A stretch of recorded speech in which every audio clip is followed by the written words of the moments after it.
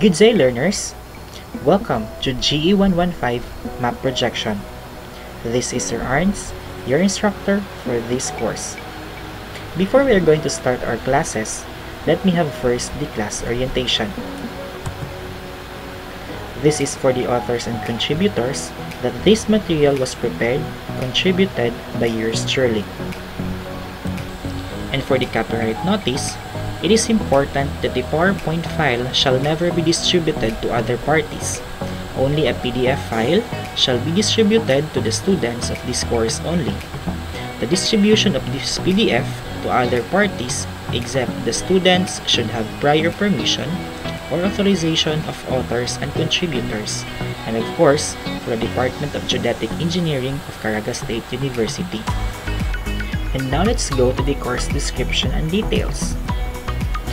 GE115 Map Projections covers the principles and mathematical concepts of map projections, datums, coordinates transformation, and reference systems. It also tackles about the Philippine Reference Systems of 1992 or PRS 92 and its transformation parameters. It has three units that consist of two units lecture and one unit laboratory. For the course outcomes, expectedly, upon the completion of this course, you, the student, must have explained the concepts and principles of datums and map projections, and its various types and characteristics. Explain why specific datum, map projection, and grid systems are adapted for various mapping situations. Transform coordinates from one map projection into coordinates of a different map projection through both manual computations and with the aid of the GIS or coordinate conversion software. Specify the datum, map projection, and grid system parameters of a spatial dataset using GIS software. Explain the historical background, mathematical concepts, transformation parameters, features and uses of the Philippine Plane Coordinate System Transverse Mercator or PPCS TM Philippine Reference System of 1992 as the official reference system for all surveys and maps in the country. And lastly, perform coordinates geographic and grid coordinates conversion from WGS 84 to the PRS 92 reference systems and vice versa. And now let's go to the course outline. Topic 1 is all about Introduction to Map Projections that consist of the general concepts, coordinates and coordinate systems, datums and ellipsoids, the map projection processes, characteristics of map projection, scale variation and angular distortions, classification and selection of map projections. In topic 2, we are going to discuss about cylindrical map projections. We have Mercator projection, transverse Mercator projection, the universal transverse Mercator or UTM projection, oblique Mercator, cylindrical equal area, Miller cylindrical, equidistant cylindrical, and Cassini projection. And for topic 3, it's all about conic map projections. We have Albers equal area, Lambert conformal conic, equidistant conic, bipolar oblique conic conformal, polyconic, and Bonne. And in topic 4, we are going to discuss azimuthal and other map projections. We are going to discuss orthographic, stereographic, gnomonic, general perspective, Lambert azimuthal equal area, azimuthal equidistant, modified stereographic conformal, and other map projections such as space map projections and pseudo-cylindrical map projections. And for topic 5 is all about the Philippine Reference System of 1992 which covers about the historical background, mathematical origins, the Luzon 1911 datums and its ellipsoids, features and uses, official PRS 92 transformation parameters.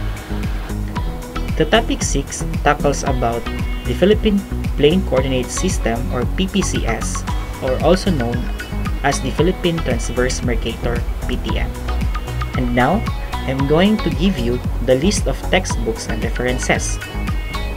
We have Snyder, Numberia 2007, DENR 1998 or DAO 1998-12, and the Bureau of Lands 1975 Technical Bulletin number 26.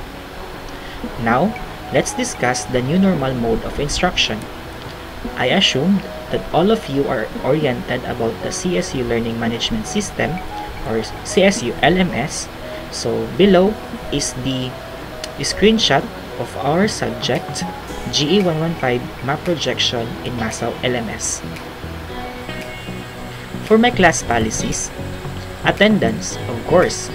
Kay online man ta, attendance will not be checked. All you need to do is to participate on the Moodle, especially on the forums and question and answers, etc. Check always on your Moodle account for the course update.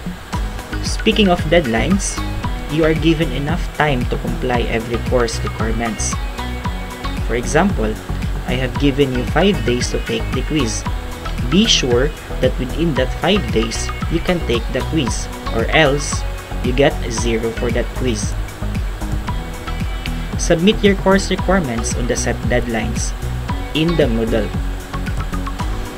And of course, late submission will not be tolerated. Remember that those course requirements that I am going to require you are only the basis of your grades at the end of the semester. For grades, INC is given to a student whose class standing throughout the semester is passing but fails to appear for a final examination or complete all requirements for a course due to a valid reason.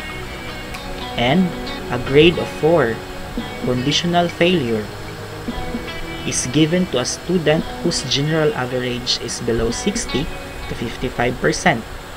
A grade of 4 can be removed through a removal exam given by the instructor, which must be taken before the deadline of the submission of your grades. A grade of 3 will be given to a student who passed the removal exam. Otherwise, a grade of 5 will be given. So sir, wala may 4 nga grado. So again, ihatag na siya for conditional failure. You are given last chance which is the removal exam.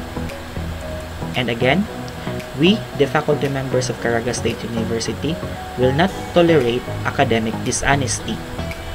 Plagiarism will also not be tolerated, and any student who has been found to have participated in any academic dishonesty will receive 5 grade in your course and may be subject to further disciplinary action.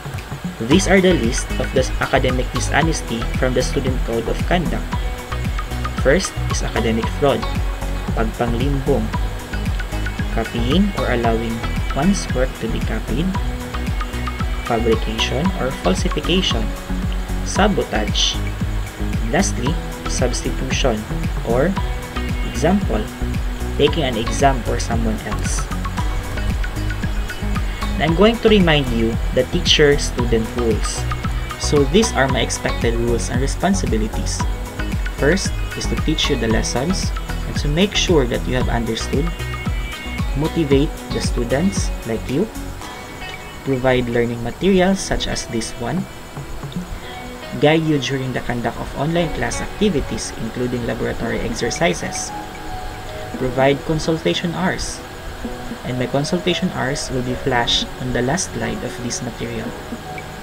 Conduct, implement various measures to test your knowledge, comprehension, application, analysis, synthesis, and evaluation of the topics that we have been discussed, such as quizzes, oral recitation, seat works, reports, exam, and etc. Lastly, I'm going to keep accurate records of your performance. And these are your rules and responsibilities. This is very important. First is study well and perform to the best of your ability. Submit all the course requirements in a timely manner. And lastly, to learn what is required. In terms of classes, Caraga State University still abides and implements no face-to-face -face classes. It means to say that all classes should be done online, like online lecture, online quiz, online assignment, online submission of activities, and etc. For our laboratory exercises, it should be done after all the lectures, except for those laboratory that can be done at home. We will still wait for the instruction from the Caraga State University if the face-to-face -face classes is okay and will be pursued. For my announcement, I have allotted a tab in the Masaw LMS for all the announcement in this subject. Like for this one, I have posted it last September 3, 2020. So from time to time, you are going to update your Masaw LMS for you to become updated in this course. Also, you can visit at my Facebook page for Moodle updates and course announcement, Department of Geodetic Engineering updates, course queries, and etc. So diri, diri ko mag-post if ever uh, nag-post na ko sa Moodle of activity or na ako i-update sa Moodle. So para ang tanan is maka-access. And also, this serve as a consultation for all your concern. So, please free to message this page for all your queries or kung naamoy mga pangutana, mga kalibugan sa course or naamoy kalisdan or any queries about the department so pwede kayo siya. In terms of grading system, here is the criteria for grading. We have major examinations, 50%, which consist of midterms and finals, assignment and quizzes, 20%, laboratory outputs, 15%, and laboratory reports, 15%, a total of 100%. Please take note that this grading system will be changed from time to time due to the current situation that we have experienced right now. Please stay tuned of my announcement regarding the changes of this grading system. For my consultation, it will be done through my Facebook page. Pwede mo mag-message dito if nag-lisod mo sa topic or wala mo ka-catch up dayon. So, just beat me and I'm going to respond. Again, if you have questions and queries, you can freely message me through my Facebook page, Engineer Arnaldo Centino Gagula, to cater your questions and concern. Keep safe everyone and see you in our next video.